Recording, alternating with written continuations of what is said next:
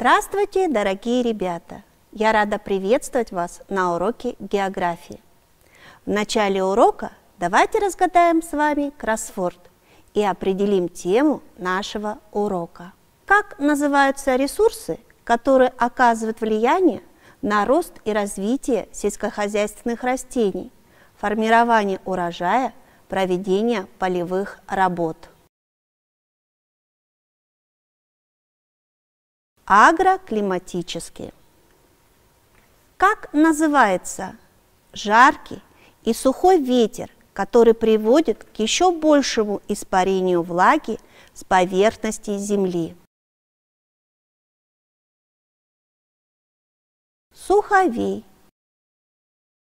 Укажите природный фактор, который является причиной засухи, заморозков, выпадения града.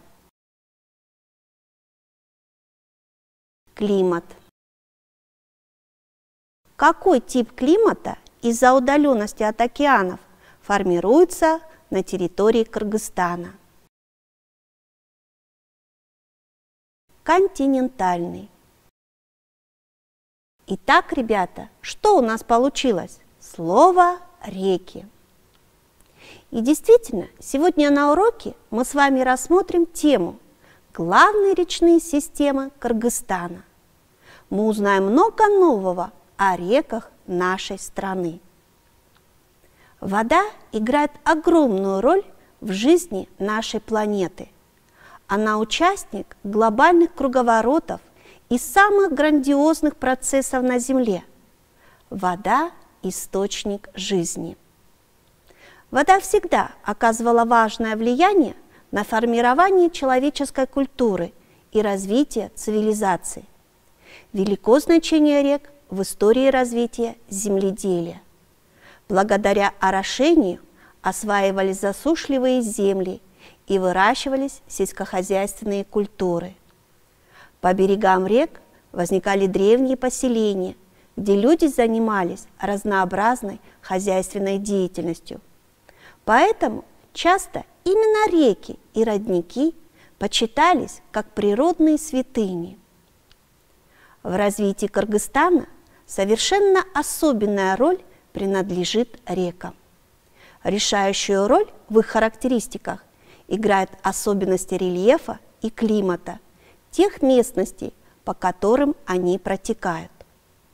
Вспомним, что река – это естественный водный поток, текущий в разработанном им углублении русле.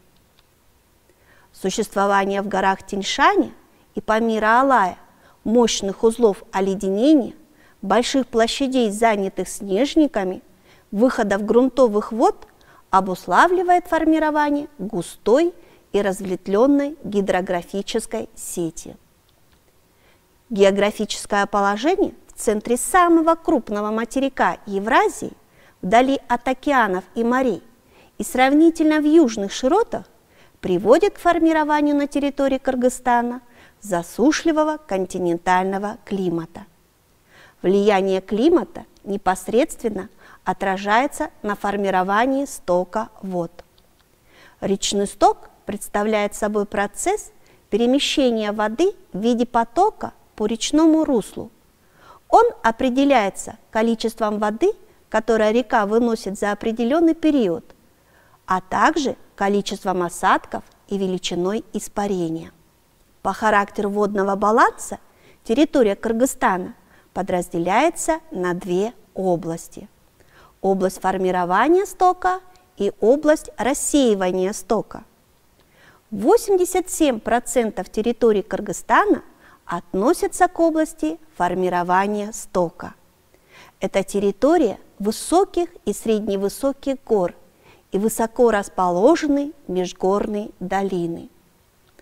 А подгорные равнины входят в область рассеивания их стока. Нередко здесь образуются речки и ручьи грунтового питания, которые называют карасу. Сложность и контрастность рельефа затрудняет разделение территории Кыргызстана на регионы по источникам питания рек. Все реки Кыргызстана по источникам питания разделяются на следующие типы. Реки ледниково-снегового питания, реки снегово-ледникового питания, реки снегового питания, реки снегового и дождевого питания. Основной источник питания рек – снеговые и ледниковые воды. Их доля в общем стоке доходит до 80%. В питании рек участвуют и подземные воды. Их доля возрастает в реках, формирующихся в предгорьях и на равнинах. Например, у реки Красная, питающейся из болот вблизи Токмака, средний годовой расход составляет 22 кубических метра в секунду. Расход воды – это количество воды, протекающей через поперечное сечение русла водотока в единицу времени. Отсутствуют реки дождевого питания. Доля дождевых вод составляет от 2 до 18% от общего стока. По данным ученых, географов, общий объем воды – вытекающей с территории Кыргызстана, составляет 46,8 кубических километров. Климатические условия влияют и на режим питания реки. Даже в бассейне одной реки по высоте наблюдаются различные режимы стока. Значение режима важно для планирования работы ГЭС и орошения. Ребята, Давайте с вами вспомним, что такое половодье, паводок, межень. Половодье – это период наиболее высокого уровня воды в реке, ежегодно повторяющийся в одинаковые сроки. Причины половодья – таяние снега, снежников и ледников. При межени уровень воды в реке наиболее низкий – Межень соответствует периоду наименьшего выпадения осадков, когда река питается преимущественно грунтовыми водами. Паводок – это кратковременный подъем уровня воды в реке, вызванный поступлением в реку обильных осадков. При длительном выпадении атмосферных осадков и при интенсивном таянии снега или ледников может привести к наводнению, то есть к значительному затоплению – определенной территории. По режиму стока реки Кыргызстана относятся к Тиньшанскому и Алтайскому типам. Реки Тиньшанского типа питаются главным образом талыми водами снежников, высокогорий и ледников. Расход воды в них увеличивается летом, в период бурного таяния, достигая максимума в июле-августе. Реки Алтайского типа питается преимущественно талыми водами сезонных снегов Среднегорья. Расход воды в них увеличивается весной, а так как снег на разных высотах тает не одновременно, половодье растягивается на долгое время. Второй фактор, оказывающий большое влияние на формирование стока вод – высокие горы, которые играют барьерную роль на пути влажных воздушных масс и являются причиной более обильного выпадения атмосферных осадков.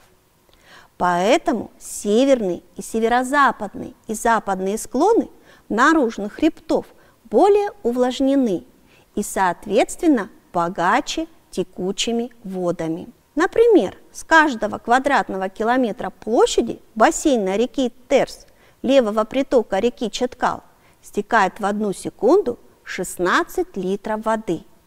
А на формирующейся на восточном склоне этого же хребта реки Касансай в одну секунду 6 литров. Влияние рельефа на реки проявляется в таких характеристиках, как падение и уклон реки. Падением реки называется превышение истока реки над устьем, выраженное в метрах. Уклоном реки называют отношение величины падения реки к ее длине. Эти особенности всегда учитывались при хозяйственном использовании рек. На территории Кыргызстана формируются 2047 рек и речушек, длиной более 10 километров и общей протяженностью около 35 тысяч километров. Речная система собирает воды с территорий, которая называется бассейном или водосборной площадью. Бассейны отделяются друг от друга водоразделами. Большая часть рек Кыргызстана относятся к бассейну Аральского моря.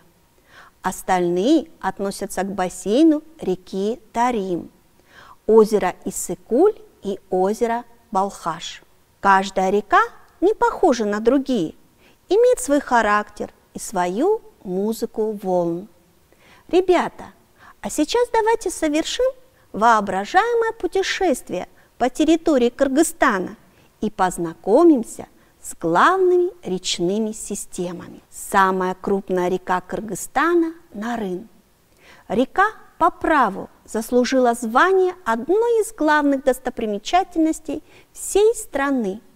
Река протекает по территории Иссыкульской, Нарынской, Джалаабадской областей, а также по территории Узбекистана. Несясь по горным ущельям и омывая каменистые берега, она является составляющей реки Сыр-Дарья, относящейся к бассейну Аральского моря. Длина реки Нарын в пределах республики 535 километров. Река образуется слиянием рек Большой Нарын и Малый Нарын. Большой Нарын зарождается в озере, расположенном у языка ледника Петрова в массиве Акширак. Малый Нарын образуется из многочисленных речек, вытекающих из ледников хребта Джетимпель. В целом бассейн Нарына характеризуется относительно малым количеством осадков, большинство которых приходится на летнее время.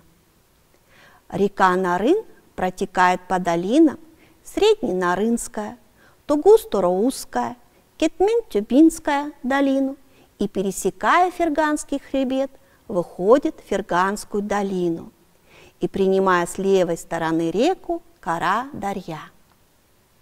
Крупные притоки реки Нарын – реки Карасу, Чичкан, Кекемерен, Каджирты, Адбаши и другие. По водному режиму река Нарын и ее притоки относятся к типу снегово-ледникового питания, половодье которых наблюдается в теплое время года. А межень в зимнее время. Характерные черты такого режима связаны с распределением атмосферных осадков в течение года и наличием ледников в ее бассейне. Река Нарын имеет огромное значение в развитии экономики страны. Вода используется на орошение, Река обладает значительными энергетическими ресурсами. На ней расположена крупнейшая ГЭС страны – Токтагульская. Следующая река – Кара-Дарья. Это левая составляющая Сыр-Дарьи. Образуются от слияния рек Тар и Кара-Кульджа. Длина реки вместе с рекой Тар 177 километров в пределах республики.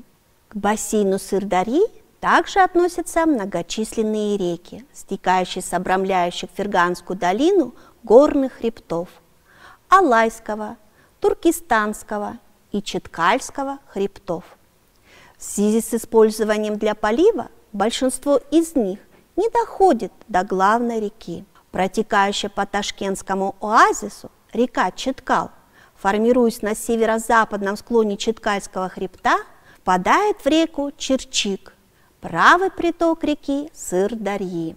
В связи с тем, что река Читкал и ее притоки питаются талыми водами снегов и ледников, половодье их приходится на конец весны и начало лета. В связи с благоприятным расположением Читкальского хребта высока доля весенних осадков в питании реки реки Алайской долины. относятся к бассейну реки Амударья. Река Кызылсу – одна из рек, образующих реку Вахш. На территории Кыргызстана ее длина 222 километра. Самый крупный из правых притоков – это река Коксу. Основной источник питания – талые воды ледников и снегов. По водному режиму это река Тиньшанского типа ледниково-снегового питания с половодьем в теплое время года. Одна из рек Северного Кыргызстана, имеющая наибольшее хозяйственное значение, это река Чу. Общая длина реки Чу 1030 километров. Из них 260 километров пределах Кыргызстана. Откуда берет начало и куда впадает одна из самых таинственных рек Средней Азии? Еще до открытия Средней Азии европейскими исследователями она была одним из самых таинственных объектов. Первым путешественником, проникшим в эти труднодоступные края, был Семенов Тиньшанский, который определил, что река Чу не берет начало из озера Иссыкуль. Река образуется при слиянии в Качкорской долине рек Джонарык и Качкор. В районе пересечения реки Чу с кыргызским Алатоу построено Ортотакойское водохранилище. Вблизи города Балыхчи река, повернув на запад, входит в Баумское ущелье. На месте выхода из этого ущелья с правой стороны принимает самый крупный приток – реку Чонкимин и течет по Чуйской долине. Далее река Чу течет на запад по широкой долине и считается границей между Кыргызстаном и Казахстаном.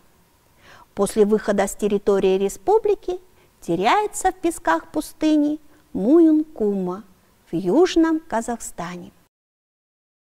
В связи с разнообразием условий питания и формирования стока рек в бассейне реки Чу они различны и по водному режиму. В более благоприятных условиях формирования стока расположены Чонкиминская долина и северный склон Кыргызского Алатоу реки Кыргызского Алатоу и река Чонкимин относятся к теньшанскому типу рек, питающихся талыми водами ледников и снегов с летним половодьем.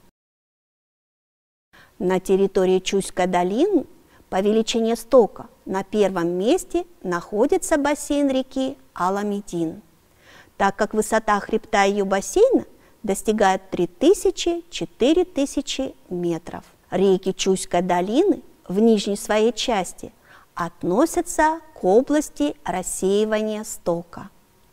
Вода большинства рек разбирается на орошение, поступает в искусственные арыки и каналы. Бассейн реки Талас занимает долину между хребтами Кыргызского и Таласского Алатоу. Начало Талас получает после слияния рек Каракол и Учкошой.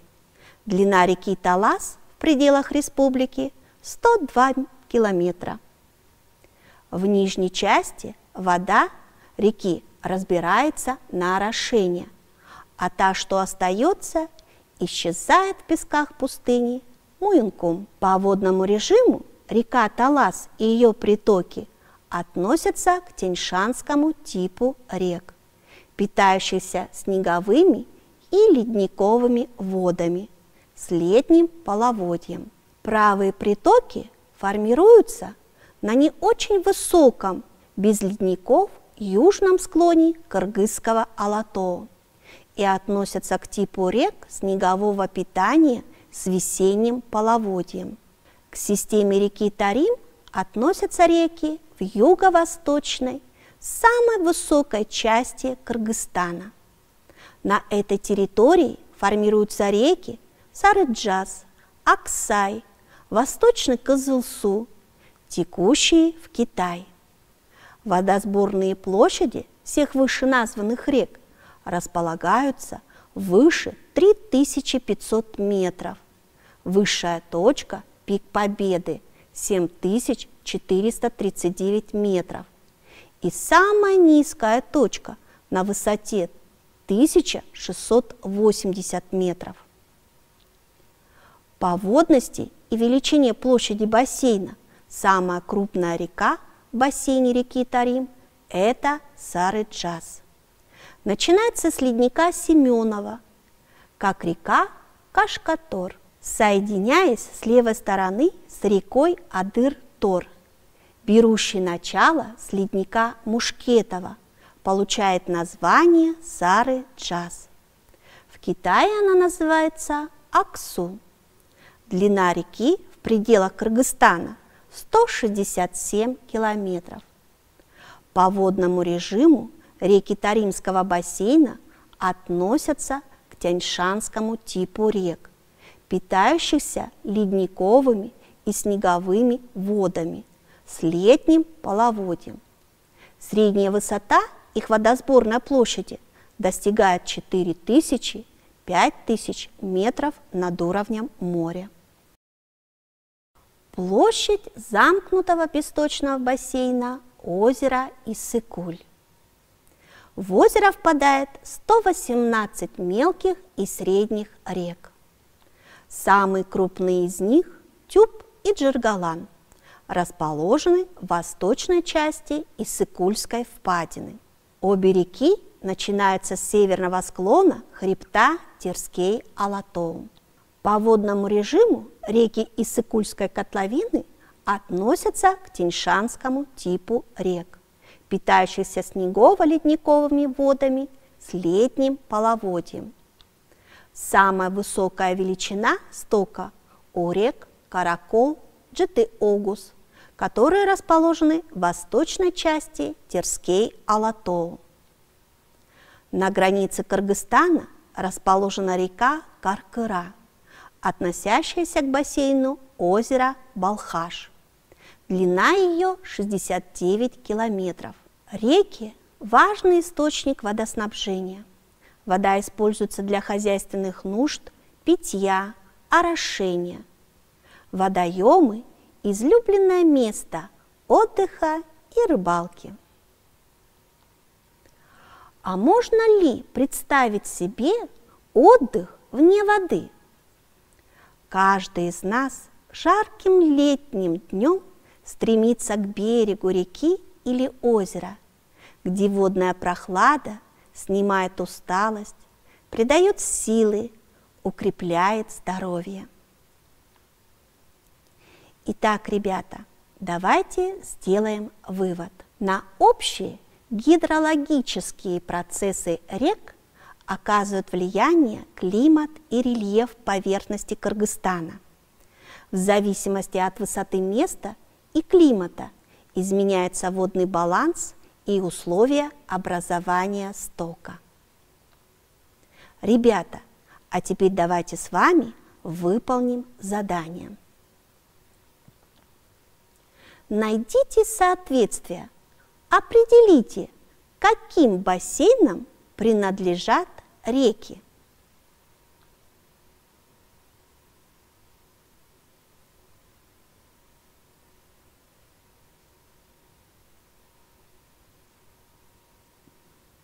Река Атбаши принадлежит бассейну Аральского моря. Река Нарын принадлежит бассейну Аральского моря. Река Каркыра, озеро Балхаш, река Тюб, Иссыкульская котловина и река Сарыджаз принадлежит бассейну реки Тарим. Процесс перемещения воды в виде потока по речному руслу – это что?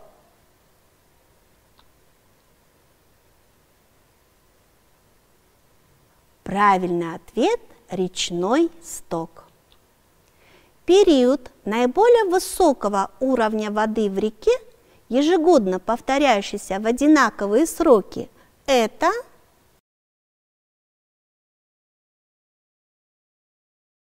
правильный ответ – половодье. На этом наш урок подошел к концу. До свидания, ребята! До новых встреч! Thank you.